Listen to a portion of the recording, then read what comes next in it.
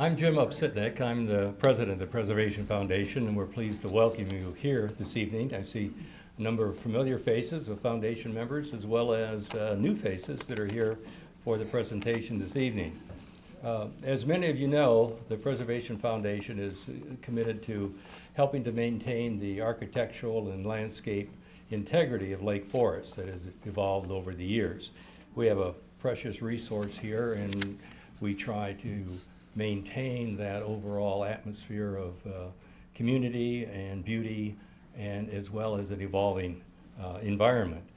Uh, one of the things that we sponsor throughout the years uh, for our members is to see many of these beautiful homes and estates and gardens. And uh, since joining the foundation a few years ago, I've been a resident of Lake Forest now 34 years, and the last few years have been a real revelation. There have been places that we have seen uh, that you just don't see when you're driving by. But being a member of the Preservation Foundation uh, affords the opportunity uh, for an entree into these magnificent homes and estates and gardens that you might not normally have the opportunity to see.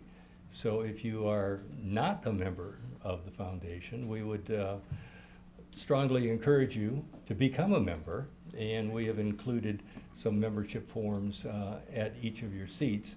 And tonight, as everyone, um, as every show would say, we have a special discount tonight, and it's $10 off on the annual uh, membership.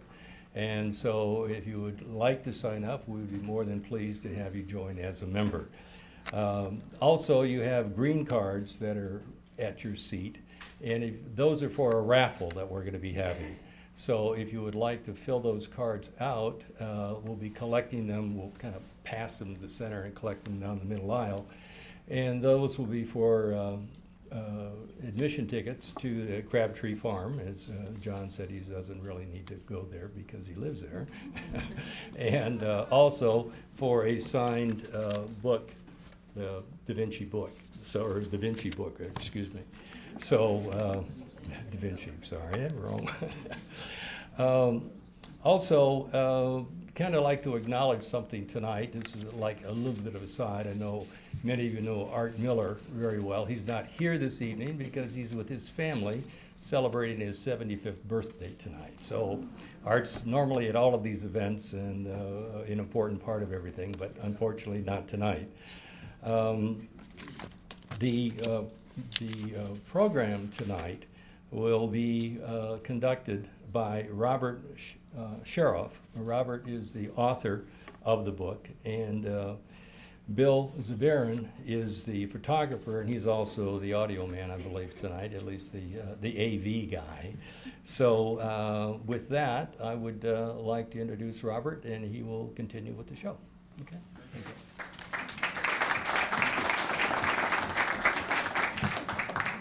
We're going to talk about an authentic Chicago legend tonight, who actually is here tonight as well. Bill and I began work on this book in 2009 with the idea that it would come out in time for John's 75th birthday in 2012. Okay, John turned 81 last month. Um, uh, it took eight years, but, but, but we finally got there. Um, got 20 minutes to take you through 80 years of history. So kind of think of this as a condensed version of the book. We're going to start at the beginning. And the beginning took place on the south side of Chicago. John grew up in this four flat apartment building at 23rd and Wells Street in what is now part of Chinatown. But back then it was an Italian enclave. John's parents, Nick and Nicolina, were immigrants from Sicily they had seven kids. Did I get that right, John? I've been missing that. Uh, John was the youngest. He was born in 1937. There were 10 people living in this apartment. John slept on a cot in the dining room with his two youngest siblings. Here's a photo of John and his brother Frankie. His mother and his sister Minnie are in back, and those cute hats and those outfits are from Maxwell Street. There was one college within walking distance of John's house, and it was IIT. I was a very naive kid, he said. I went to the school that was in my neighborhood. I didn't know anything about architecture. I had never heard of Frank Lloyd Wright. Mies van der Rohe's name meant nothing to me. This was in 1955. Here's a photo of John at his drawing table in Crown Hall. Crown Hall, which was designed by Mies van der Rohe, was brand new then. John's class, the class of 1960, was the first class to occupy the building. At that time, Mies van der Rohe was head of the architecture school. Ludwig Hilberseimer was teaching urban planning. Walter Peterhans was teaching visual training. But the professor who made the biggest impression on John was Alfred Caldwell. There he is, with John actually in back in the sweater vest. Uh, Caldwell taught architectural history. He was also a landscape architect. He worked for Jens Jensen for several years. He also worked for the Chicago Park District, and he designed the Rookery in Lincoln Park and also Promontory Point down in Hyde Park. And he also did the landscaping for IIT. More than anything, though, Caldwell was an evangelist for the first Chicago School of Architecture. He introduced John to architects like Louis Sullivan, Frank Lloyd Wright, and John Wellborn Root, the architects John would become most closely associated with later in life. Caldwell made a religion out of architecture, John said. Every lecture was about the struggles and aspirations of mankind as personified by his architectural heroes. John graduated from IIT in the spring of 1960 and immediately went to work for Skidmore, Owings, and Merrill. And it was a complete disaster. He lasted barely six months. I was somewhat inept, he says, and I wasn't the best draftsman. During this time, however, he became involved in his first big preservation battle, which was the fight to save Adler and Sullivan's Garrick Theater. There it is. The Garrick dated from 1892 and at one time was Chicago's tallest building. It's where the Goodman Theater is today. Here's a photo of Richard Nickel picketing in front of the Garrick. If Alfred Caldwell made a religion out of architecture, Nickel made one out of Louis Sullivan. Nickel was an architectural photographer who graduated from IIT in 1956. John met him in the ruins of a Louis Sullivan house not far from the IIT campus. Nickel was 10 years older than John. He grew up on the west side. Like John, he was the first person in his family to go to college, and they became close friends. Sullivan's work, Nichols said, gave him an indescribable feeling of illumination. Nickel's life would be devoted to documenting and fighting to save Sullivan's work. The Garrick was eventually demolished and replaced by a parking lot. Before that happened, however, Nickel raised enough money to hire John and his classmate, David Norris, to help salvage ornamentation from the building. This was the true beginning of John's career as a preservationist. I went from working in a fancy firm to wearing overalls, work shoes, and a construction helmet, he said. My parents were appalled. Here's a photo of John and David Norris taking a break at the Garrick. And here is one of John and Richard Nickel hanging out, hanging out on the roof of the Garrick Theater. In 1961, John went to work for a new firm in town called Brenner Danforth Rockwell. The three founders were Dan Brenner, George Danforth, and Deaver Rockwell. All three of them were IIT graduates who had also worked in Mies van der Rohe's offices. John stayed at Brenner Danforth for nine years, and it's where he learned the nuts and bolts of the architecture business. His mentor was Dan Brenner. He's right there. Dan had principles and would take sides in life. It wasn't just about money. I always respected him for that. In 1964, Brenner Danforth was hired to renovate the entrance to Adler and Sullivan's Chicago Stock Exchange building.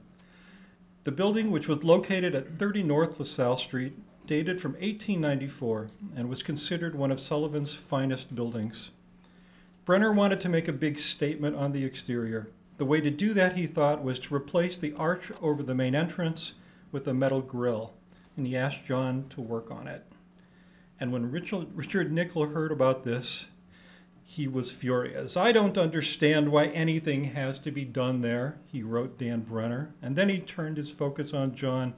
You don't deserve any exposure to significant American architecture because you don't understand it. And by your very actions, you don't give a damn about it, he wrote. Oh, it's so goddamn hopeless. You don't deserve to polish Sullivan's shoes. And here you are bastardizing his buildings. Well, let me tell you that I am on earth in his behalf, and I have only begun to fight.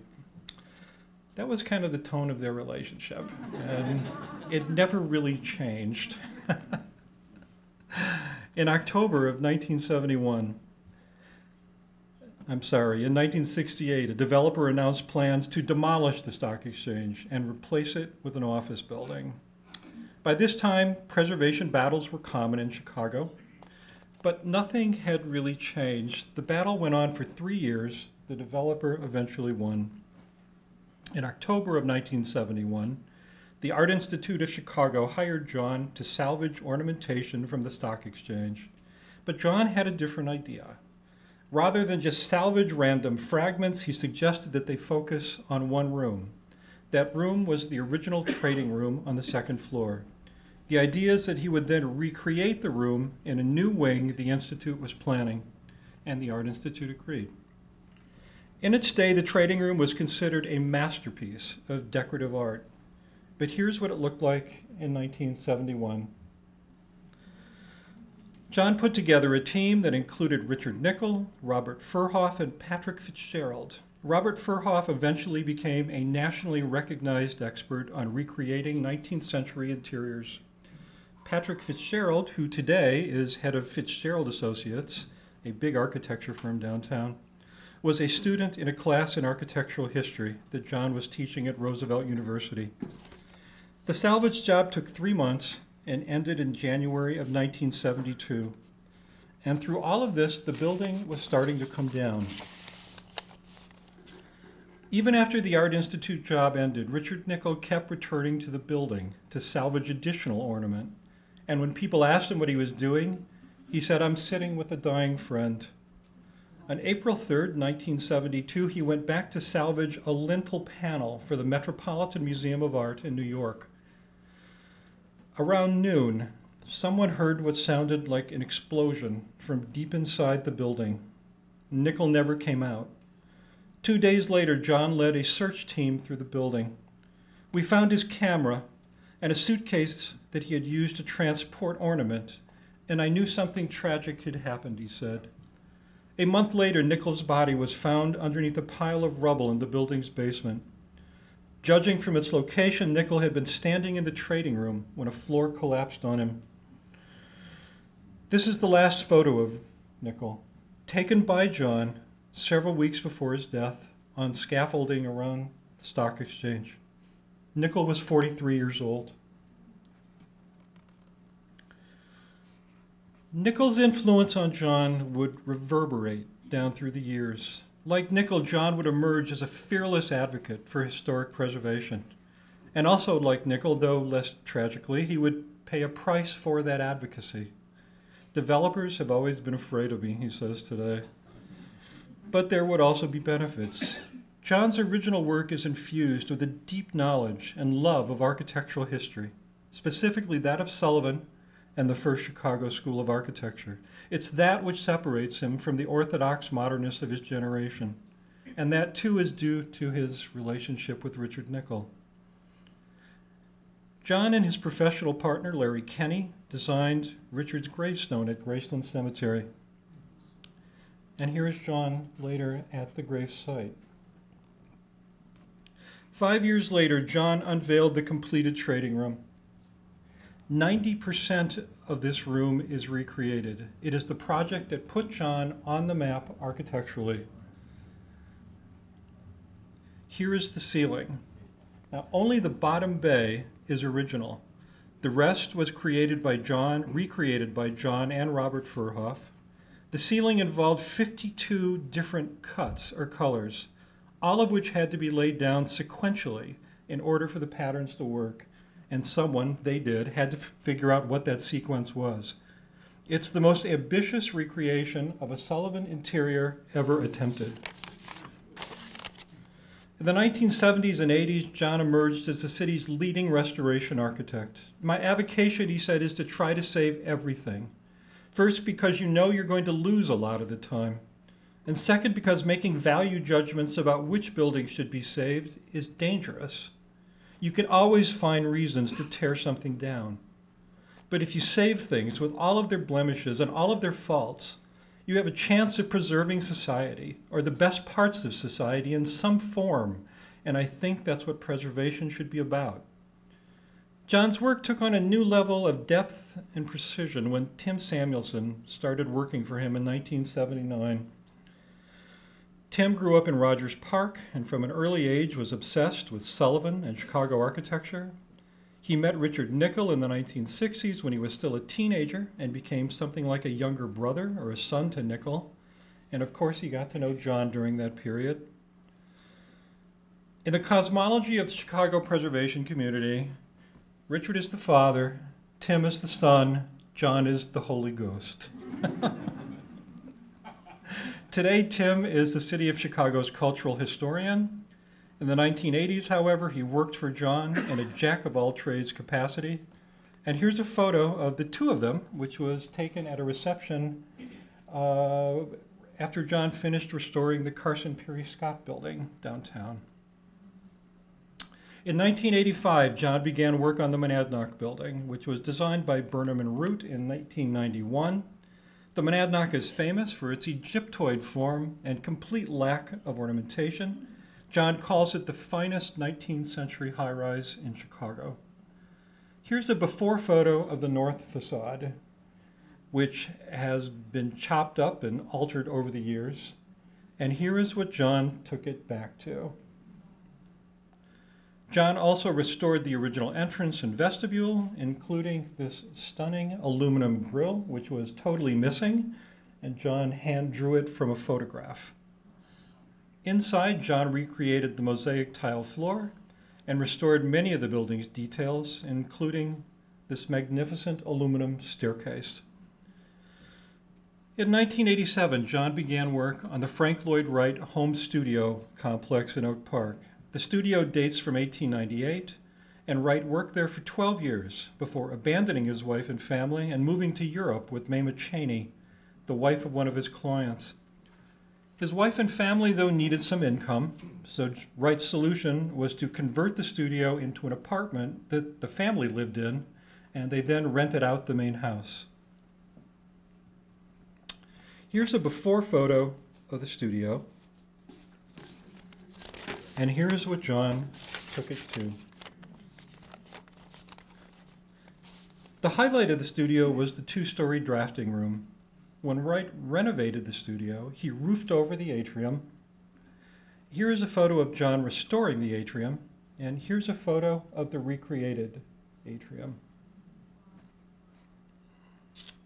The Art Institute of Chicago is John's longest professional association. He did his first work there, an exhibition called The Art of the Sepik River in 1971. Since then, he has done everything from designing the exterior urns, which those were all carved out of solid blocks of stone, restoring the Ryerson and Burnham libraries, and renovating the Impressionist galleries. He has also designed over 50 major exhibitions for the Institute, including blockbuster shows on Monet, Whistler, Degas, and Michelangelo, his most famous exhibit, however, is this one, which was completed in 1987 and is the largest permanent exhibition on the first Chicago School of Architecture in the city. In 1995, John ended 17 years as an independent architect when he agreed to become partners with Philip Hamp. Phil joined the office as an associate in 1980, and they are still partners today. Phil, in many ways, made John's later work possible, and he did this by taking over a lot of the business responsibilities and giving John time to focus on design. Their first big project was the Arts Club of Chicago, which was completed in 1997 and is at the corner of Ontario and St. Clair Streets. The building stands as a tribute to John's last great mentor, the architect Myron Goldsmith. Myron Goldsmith was a designer and a structural engineer who began his career working for Mies and later became a senior designer and structural engineer at Skidmore. He was known as a poet of structure. Myron was my hero, John said. I learned from him this whole idea about structure, that everything must be in proportion to what it is. Myron walked this thin line between function and decoration. Everything was about proportion. The Arts Club came at the end of the postmodern era, and it's a very uncompromising statement of traditional modernist values. That's Myron there on the right, actually. John on the left, and Alex in the middle. Uh, the original Arts Club was on the ground floor of an office building just off Michigan Avenue. Mies van der Rohe designed the interior back in the 1950s, which included one of his famous floating staircases. John salvaged that staircase and made it the centerpiece of the new building. There it is. He also put it in a glass and travertine box that suggests the original entrance to the old club. Here is the upstairs dining room of the Arts Club. And here is the parlor. Beautiful rooms. In 2001, John designed the Davis House, which is down in Kenwood. It was designed for Allison and Susan Davis. Allison is a developer, and Susan is an architectural historian. John was in his early 60s when he designed this house, and in it you see an architect at the peak of his powers. Many people consider it John's single greatest building. The form and plan is based on two of Mies van der Rohe's early houses in Germany, the Lange and Esters houses. But typically, John added another layer of meaning by adding details and materials like Roman brick and that whole grill that suggests Wright and the first and the prairie school. Here is the entrance to the house, and here is the living room.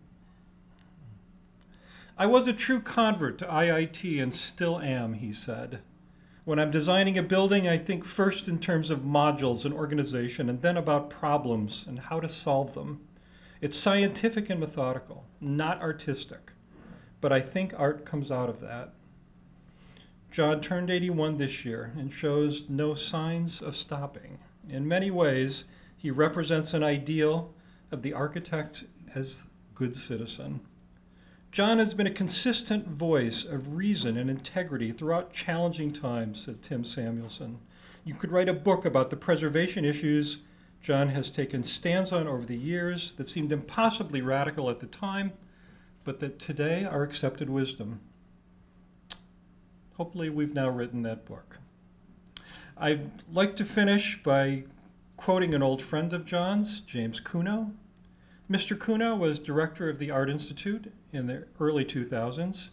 Today is, he is head of the J. Paul Getty Trust in Los Angeles. When you are putting a book together, publishing a book, the last piece is finding testimonials for the back cover. Um, here is Mr. Cuno's testimonial. This book makes clear that Chicago is as much John's city as it ever was Louis Sullivan's, Frank Lloyd Wright's, or Mies van der Rohe's. For John has dedicated his professional life to the study and preservation of their work, as much as to the design and construction of his own. And this book shows off both to their full advantage. Anyone who loves Chicago and architecture will love this book. They might even fall in love with John, as so many of us have. We have, and we do. John, mm-hmm. ladies and gentlemen, I give you John Vinci.